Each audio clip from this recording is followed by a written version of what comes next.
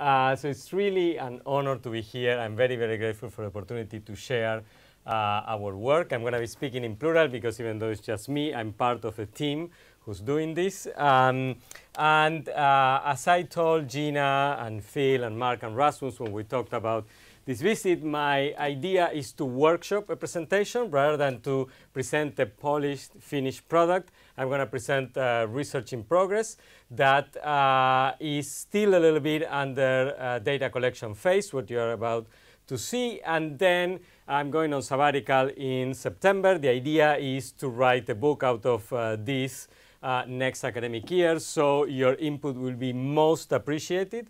Uh, feel free to ask any kinds of questions, in particular those that are highly critical, to point out any flaws of the many that we have in this project. Uh, still, uh, it will be really most appreciated. Okay, enough prefatory remarks. I think you're going to be better off looking at this instead of this.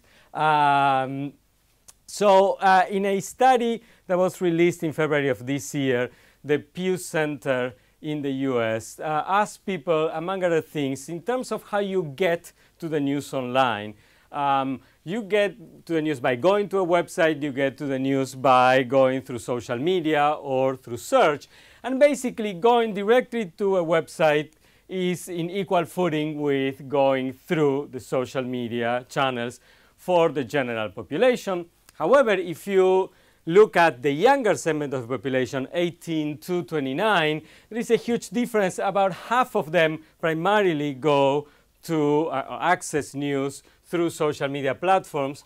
And in terms of those who are my uh, age group, 50 and older, only a quarter, slightly less than a quarter, access the information that way. This is highly consistent with the data that the Reuters Institute here has been producing for a number of years now.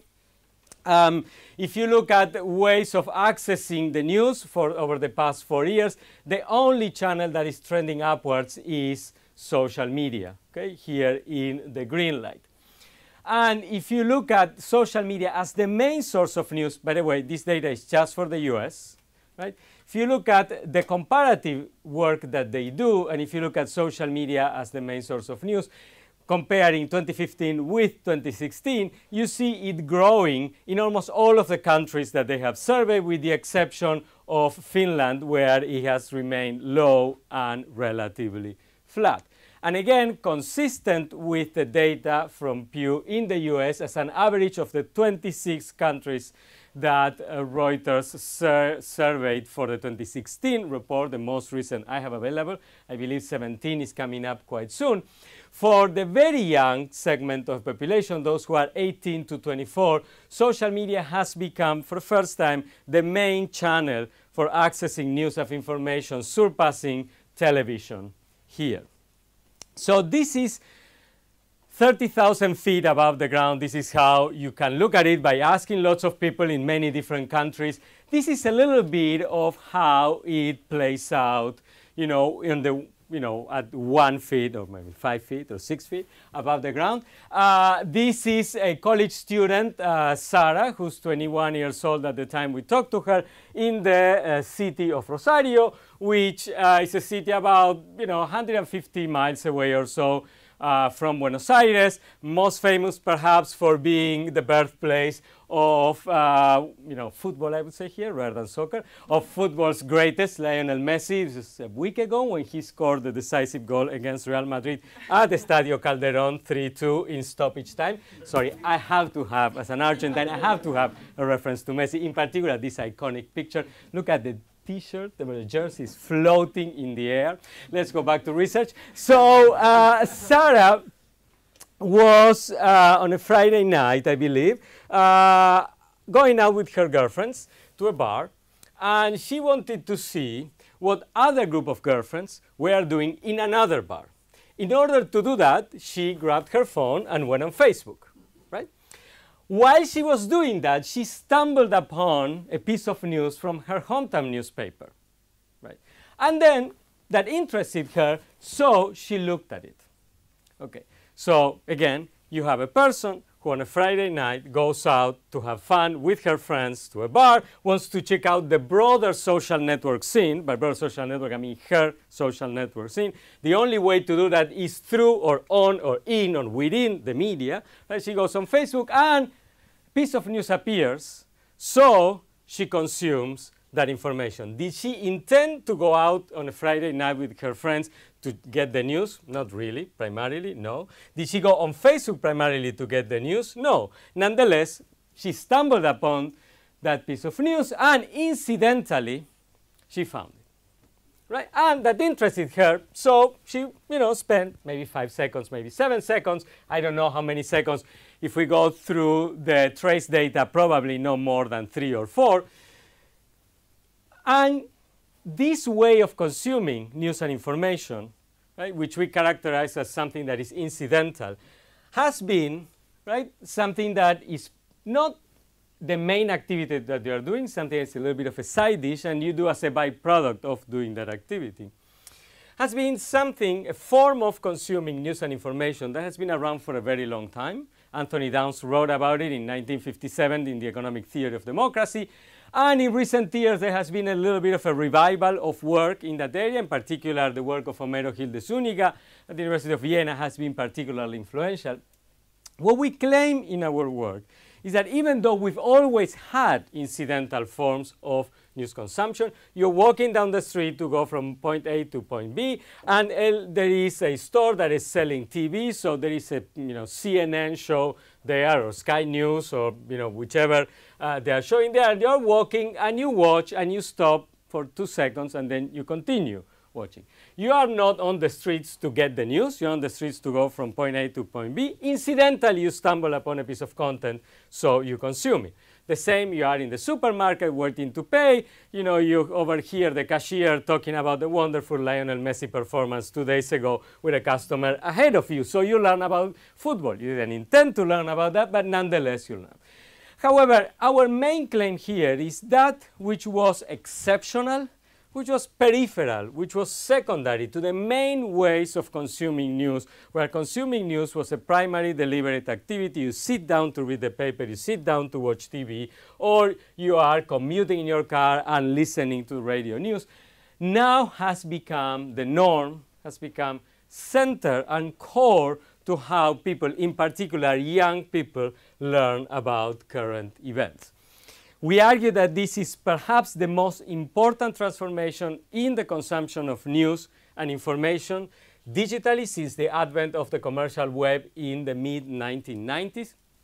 And most importantly, we argue that it is a very, very generative window to look at broader transformations at the intersection of media, technology, and society that go beyond the news, but that characterize the kind of digital culture that all of you at OII are so experts and studying and have made very important contributions. Because it is a relatively new phenomenon, it's also relatively understudied phenomenon. Even in a short book that two University of Missouri uh, professors published I believe it was in January of this year, they write, you know, this topic has received very limited systematic research attention. And if in general it has been understudied, when it comes to the younger segment of the population, it has been even less studied. Now, when I say social network news, which is a way of amalgamating network news as a gesture to the media system of the second half of the 20th century with social networks as a gesture to you know, what might be new about the world of new and news and information in the 21st century. I am not talking about social network analysis. I use social networks as a synonym for social media with apologies to the network analysts in the room. This is just a book titled courtesy of John Carson a friend of mine, a historian at the University of Michigan, who suggested this title, and we sort of like it very much. So in this project, we are trying to answer three kinds of questions. The first question is, what is it that people are doing when they consume the news incidentally and how that happens? That is, what's the experience of getting your news incidentally? What are the practices? What are the interpretations? And what is the affect associated with this mode of getting news and information? We want to know after that, why, what are the factors that explain right, the rise of this historically, and also that explain variance across age groups, across uh, groups in terms of socioeconomic status, and any other factors that might be relevant, and also understand which factors are not. and finally, what are the main implications for this for media, right, for culture, and for politics. Today, I'm going to be mostly focusing on the first question. I will share some speculations about the second, and I will welcome any kind of pointer, pointers and critiques everywhere, but in particular here. We are only beginning to try to figure out the explanatory story, and I will hint at some of the main implications that we've been thinking about so far. Uh, by the way, I know you take questions at the end. I'm happy to answer questions at any time, clarification questions or otherwise. So in order to uh, try to come to terms with the phenomenon, we adopt what a former student of mine, Ignacio Siles, and I call a texto-material perspective. That is, we understand that this is as much technological as it is journalistic. That is, as much about the technological infrastructure, hardware and software, and technical practices as it is about forms of reading, forms of interpretation, and forms of appropriation. When I say, or we claim, that it is a significant historical discontinuity, we do it in part, and I will come back to this at the end, thinking about what we know from the literature were the dominant forms of consuming news and information during the 20th century in what we call legacy or traditional media, print, radio, and television. Right? What is that the research has indicated, decades of decades of research are the main sort of parameters of consuming news there, and that, that how that compares with the consumption of news and information incidentally in digital media. So there are three main findings that I think is important to uh, put on the table. Number one, the research about reading newspapers, watching television, listening to the radio from Leo Bogart onwards during a whole lot of the 20th century showed time and again that it was a highly routinized fashion, highly routinized uh, form of information appropriation. For instance, my father used to read the newspaper every morning at the same time at the same table, usually sitting in the same place. Right? There was the lead, the watching to the uh, television newscast in the evening. Everybody sitting, you know, in front of a television, usually also in the same places, in the in the sofa, in the living room. Related to that, not only was usually it was a sort of tight choreography of news consumption in everyday life, but it was highly related to fairly predictable temporal and spatial coordinates. Right? It was the newspaper, for instance, in the morning, the breakfast table, the radio program going to work or back from work, and the television uh, newscast in the evening. Of course, there are variations, but that's sort of the dominant. And uh, the third element that is important to understand and to put the findings from today in historical perspective is that time and again the research showed that the consumption of news was part and parcel of the practices of everyday life. It was highly integrated with patterns of sociability, which continues to this day, but this day the same patterns of sociability are not really the same as they were before. If I want to find out now what my friends are doing, I go on Snapchat or Facebook or Instagram, etc. We didn't have that 30 years ago. We had to wait until going back home, you know, and the next day calling on the phone and things of that nature. In terms of what we know from about now 20 or 18 or so years of uh, research about the consumption of news in digital media, a couple of things that are relevant to today's discussion. Number one, at the beginning of uh, the consumption of news on the commercial web, in the second half of the 90s, beginning of the early 2000s, there was a lot of discussion about whether the new entrant was going to displace, in terms of news consumption, the legacy media, or it was going to be piled on top of that. That is, people were going to consume online news on top of their regular consumption of legacy media or not. Um, one of the key factors then was that there was much more displacement the younger you went in terms of the age group. So age has shown to be an important uh, factor in settling this debate. At the time, it wasn't, you know, 15, 10 to 15 years ago, it wasn't so clear. Since then, the research has shown much more conclusively that there is a process of you know, significant displacement, that the more time you spend on one, the less time you spend on the other. So in that sense, youth was a little bit of an avant-garde, which is a topic that will come again in the presentation later. The second uh, significant finding that is emerging from the literature is that there seems to be a strong correlation between access and use of mobile devices, in particular smartphone devices like my iPhone, and the consumption of news on social media. The third one is this idea first introduced by Alfred Hermida at the University of British Columbia that because of the proliferation of social media channels, in particular Twitter, journalism now is moving into what he calls an ambient mode, in which news are everywhere. They're not just encapsulated in a particular device on a particular platform, but they're everywhere surrounding people. The way Al proposed this was on the, you know, as an observation that characterizes the supply side. He called for research on how people appropriate this availability of information. We are building on that to propose uh, you know, some explanation, some account of how this is happening now. So in terms of the research design, this is uh, part of a larger project. Uh, we use mixed methods, primarily fieldwork and surveys uh, to understand the consumption of news in social media. Um, I'm going to be presenting from the work we've been doing in Argentina starting in March of last year. As I will show you in a minute, it's part of a larger comparative project. Um, we started in Argentina with interviews about 14 months ago. We do between five and seven a month. We have 94 actually as of yesterday, not 93. Uh, 43 of them with people who are 18 through 29, the rest with people who are older. I'm going to be focusing on the young people, but I will share uh, some findings from older segments of population, and I've seen enough of the material from the older segments of population to know that consistent with the research that I presented at the beginning from Pew and from Reuters, there are significant differences between young consumers and older consumers.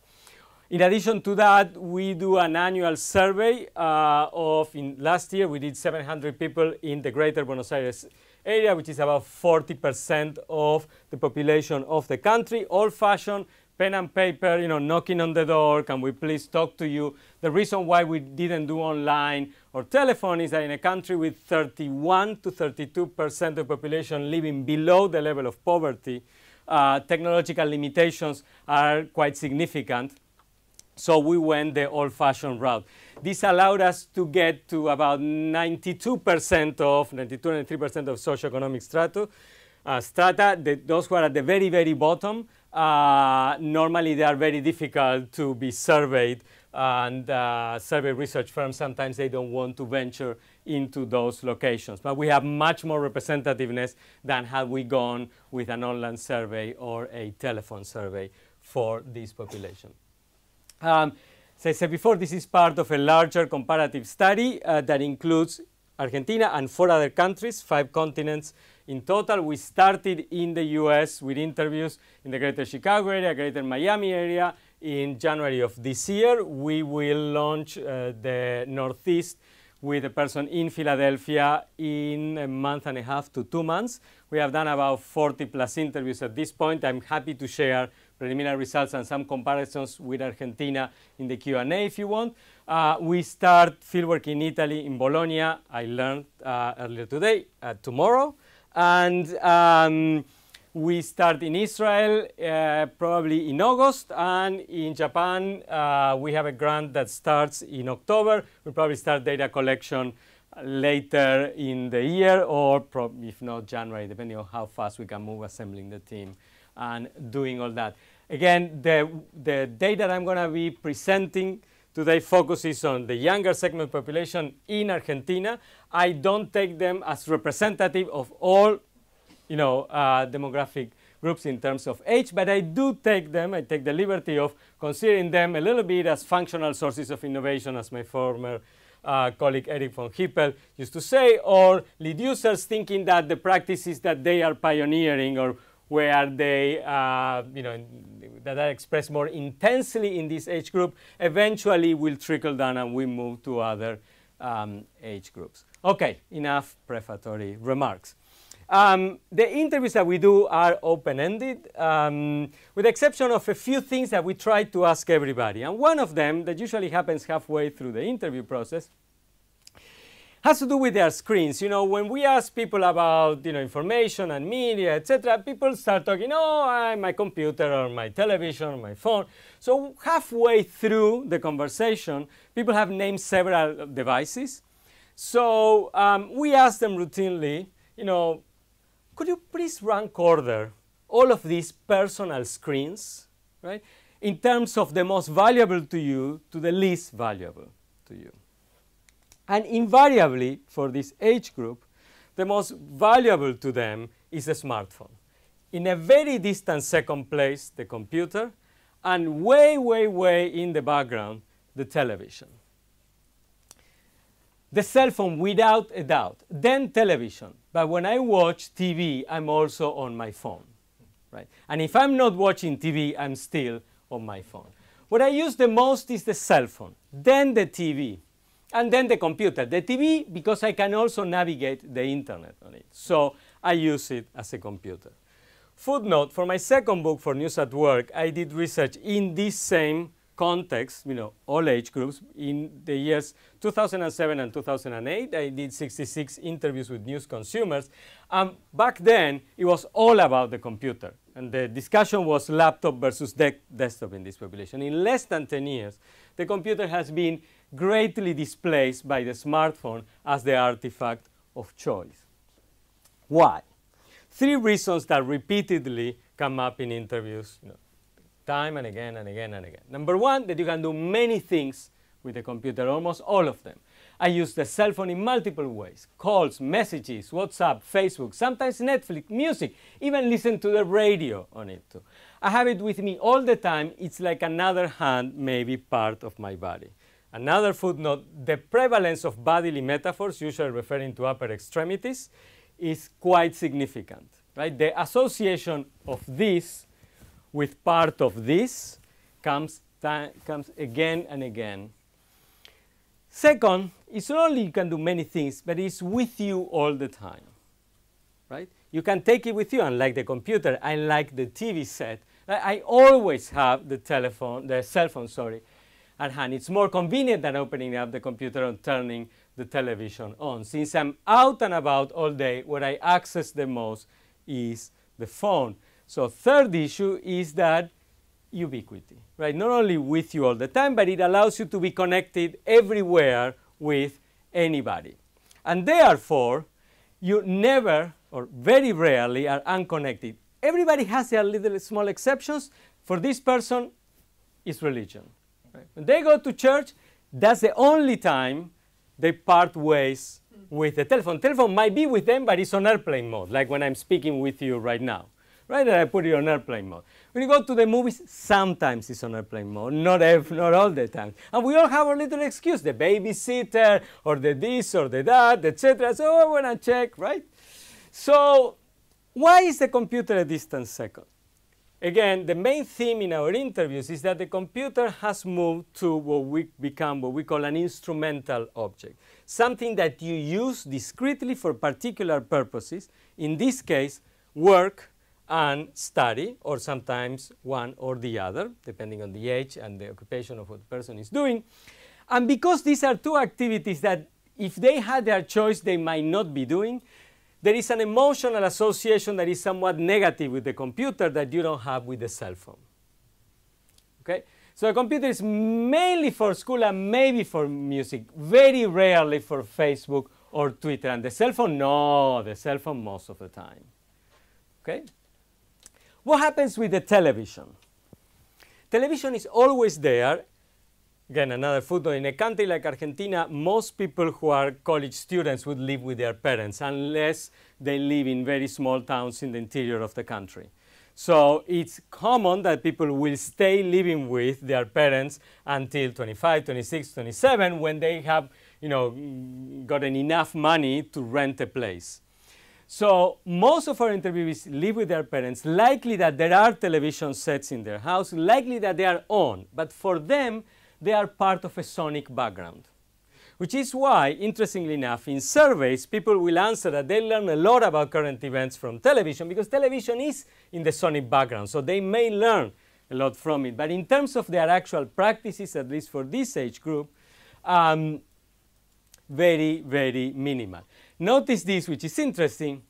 Even if a soccer game is on, and you should say football, this is mostly for American audiences, I, I apologize uh, for that. Uh, and as, as, you know, uh, football in Argentina is a religion, it's probably the religion. Um, so even if a soccer game is on, the most important thing is to listen to the newscast. And I can do both things referring to being on the phone. So most of our interviewees would follow, you know, the, the sonic part of the game on TV, and then they would actually watch the game on Twitter or Facebook or both on their phones.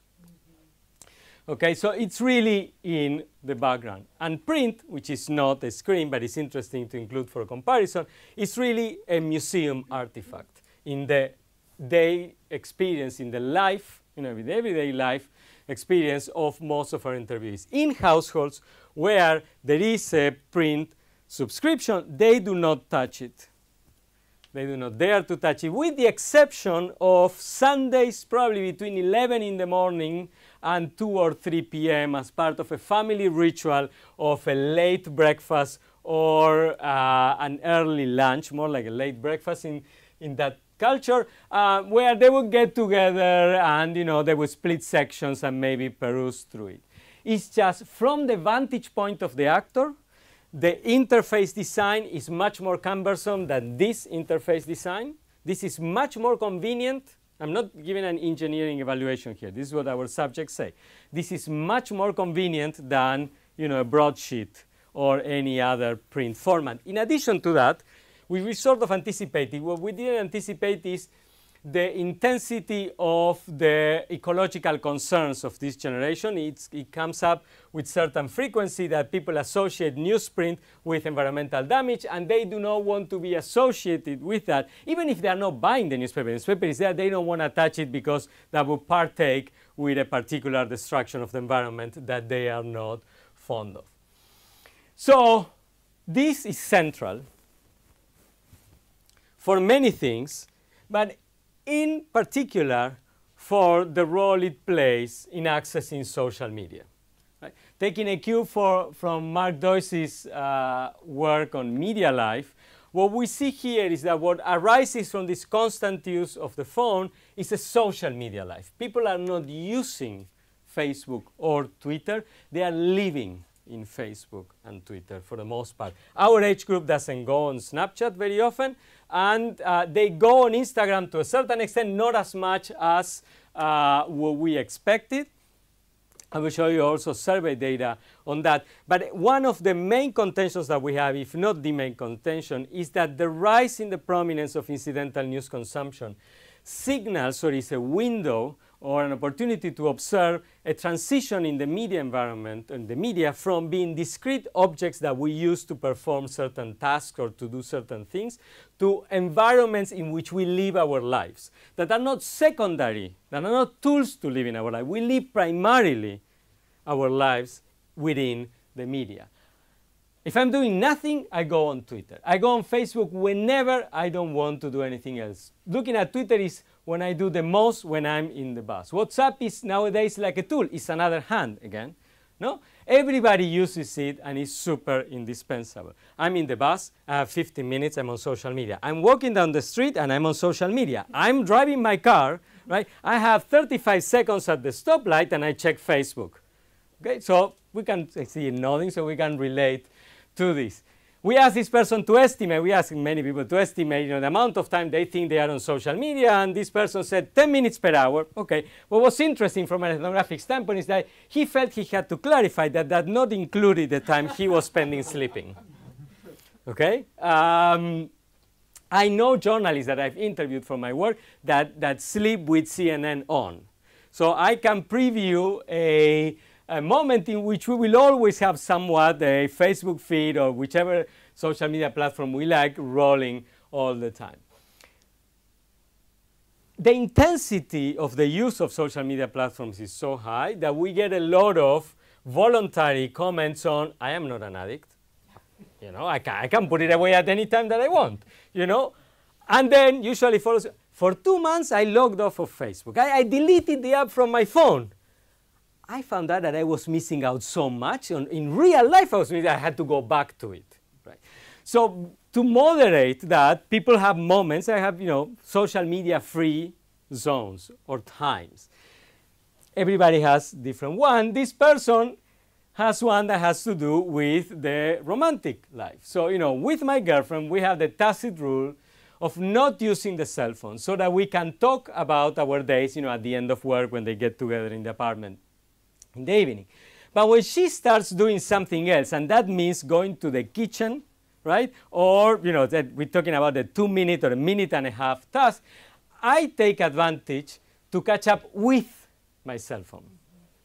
Not through the cell phone, but with my cell phone, which means going on social media, which is why when we ask people, and these are, you know, a subset of the 700 that we poll, these are people who go on social media.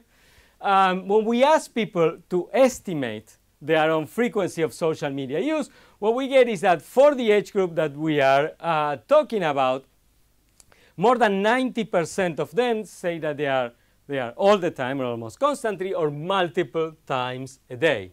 And as you can see, as people age, the frequency decreases. Where do they access? What is their favorite device to access social media? Consistent with the interview data is the phone. Remember the tablet? Remember when the tablet came out and Rupert Murdoch made the prediction that it was going to save journalism? Right? He made the same prediction when he invested $500 million on MySpace, right? Uh, but that's another story. So, and what is their favorite social network? There are two social networks that dominate, right? The game in this population. One is Facebook, there is WhatsApp. WhatsApp is technically a messaging service.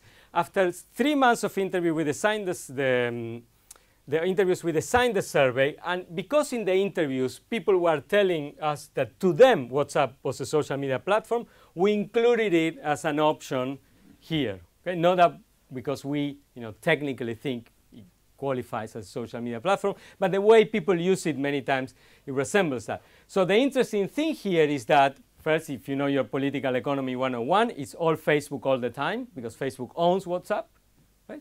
Um, on top of that, you know, Snapchat doesn't really register for people who are uh, 18 and older even though a company is valued at $26 billion now, uh, it really is valued on the bet that the 12 or 11 through 17 year old market will carry forward into the future and that you know the younger you are the more you likely you are going to be on facebook. The older you are the more likely you are going to be on whatsapp. What emerges at the intersection of this constant use of the cell phone and living your social media life is incidental news. Okay?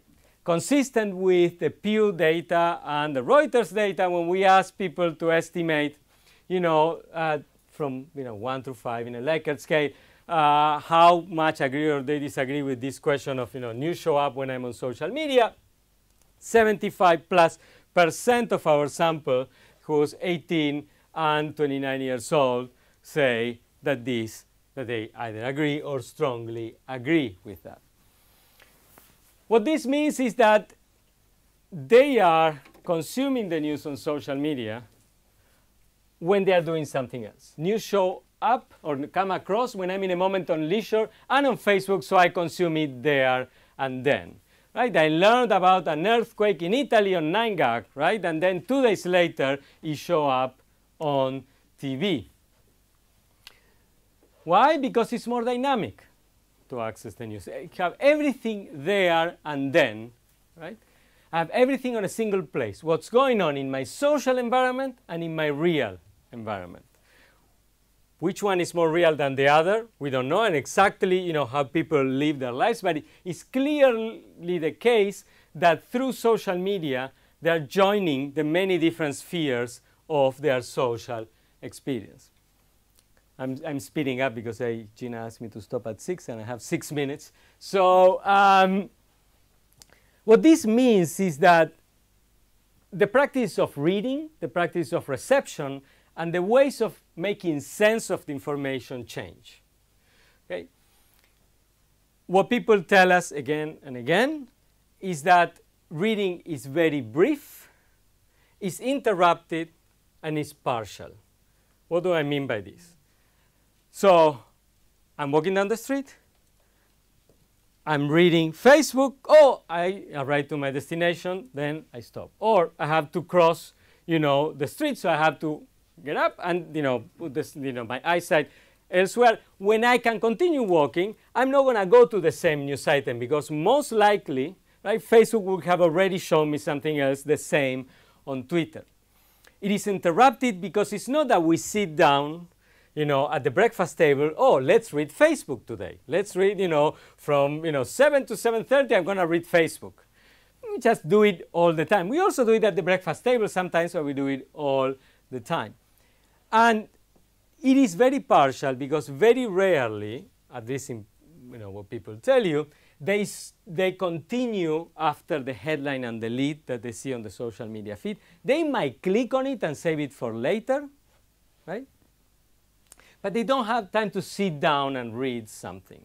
And if they click and go on the site, they usually do not pass the first paragraph. If you look at the ComScore and Nielsen data, what it shows is that if you are consuming digital news on your computer, you are spending three times more time than you are if you are consuming the same site, news on the same site on your cell phone. And this is in part because of this, right? When you are on your cell phone, usually you are there through a social media platform, and even if you are not there through a social media platform, you are not spending as much time. Do you remember how much time you spent reading that news story? Well, it had 150 characters, this is wrong, it had 140, so it was quick, right? Okay, so I have four minutes for conclusions and, and, and discussion. Uh, I might take a few more.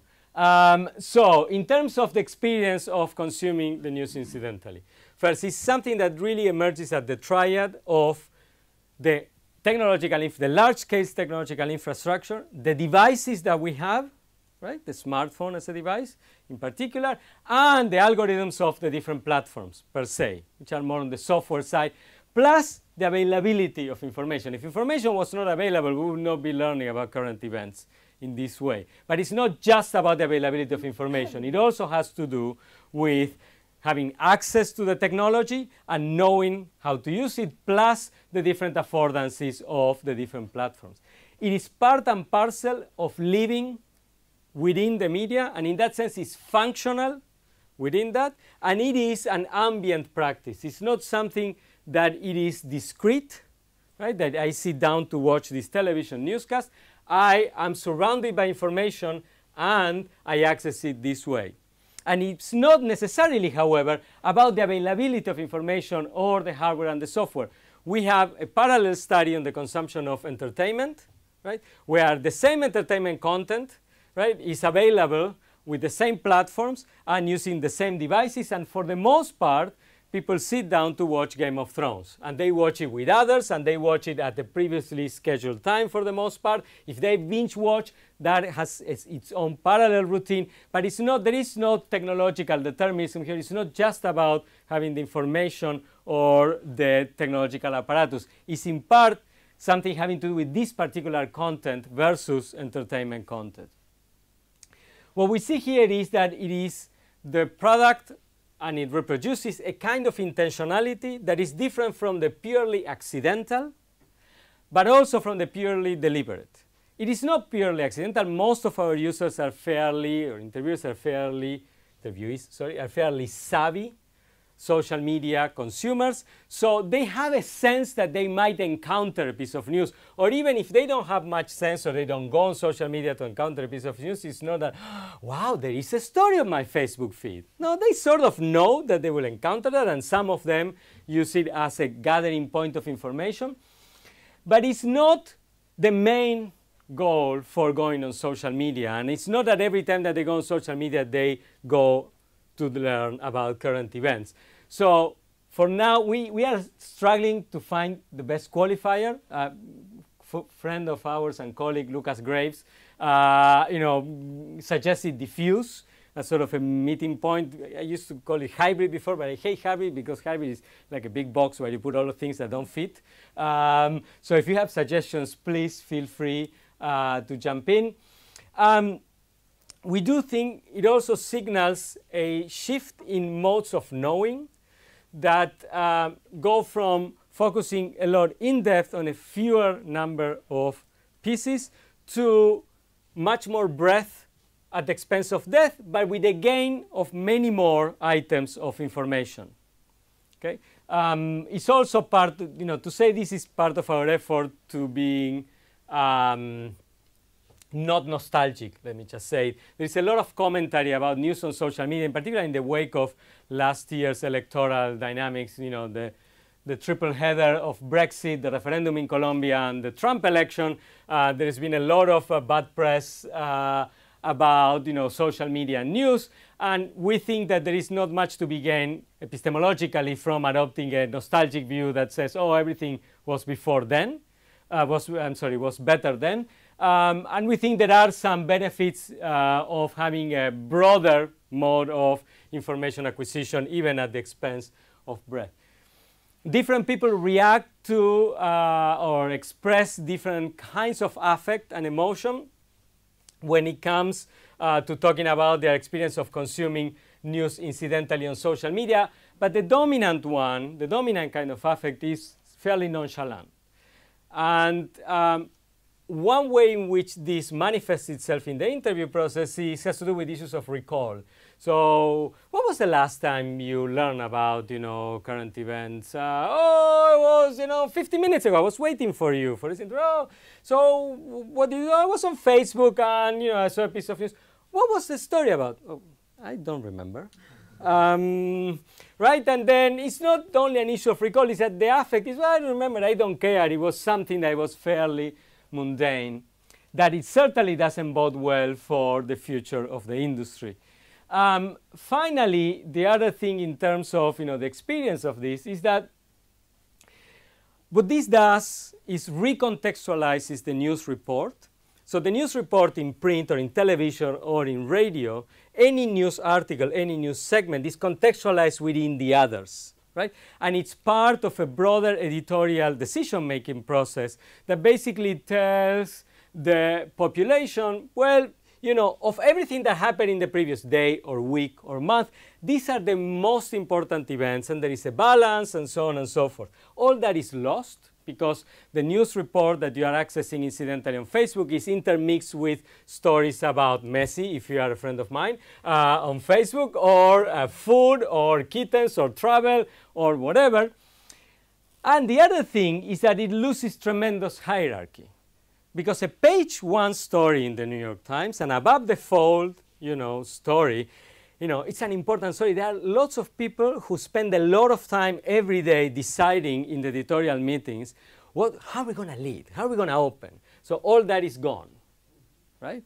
It's, it really, and as a matter of fact, it's far more important not whether that story is coming even from the New York Times. It's far more important who among my friends is posting that or tweeting about that than the origin. So in terms of um, the issue of continuity and discontinuity, there is a certain sense of continuity with modes of news consumption during the 20th century that had to do with the role of everyday relational and social patterns that are central here. It's just that the character of those have changed significantly, in part through the pervasive use of social media and mobile devices. In terms of the routine aspect, there are many routines. There is not just one single or two single routines. It's anywhere and everywhere, and the, the routines vary a lot by people, much more so than before. And also, there is no fixed temporal and spatial coordinate or set of coordinates. It really is everywhere all the time.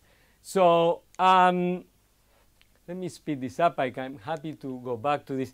Two kinds of comments uh, just to close. And I'm happy to go back to issues of explanation and uh, a few other issues in the Q&A, but I want to leave uh, time.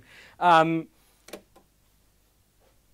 one has to do with the role of the influence of the media. You know, since Katz and Lazarsfeld in the, you know, I think it was 1955, when they wrote about two-step of influence, we have known that the media set the agenda in part through our interpersonal network, that there is a one, two-step flow.